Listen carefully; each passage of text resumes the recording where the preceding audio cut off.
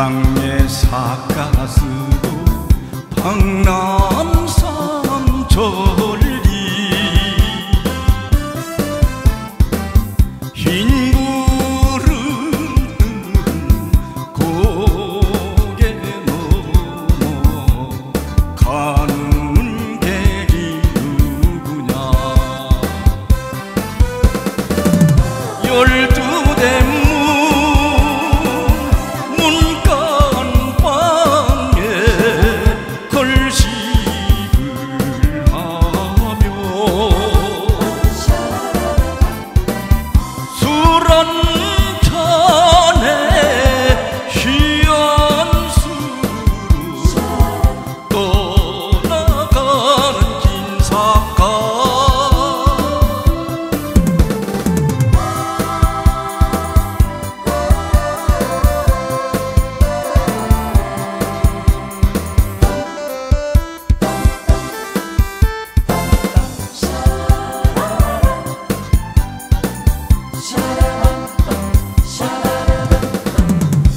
세상 실든가요.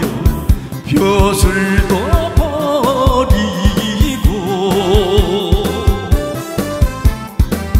기다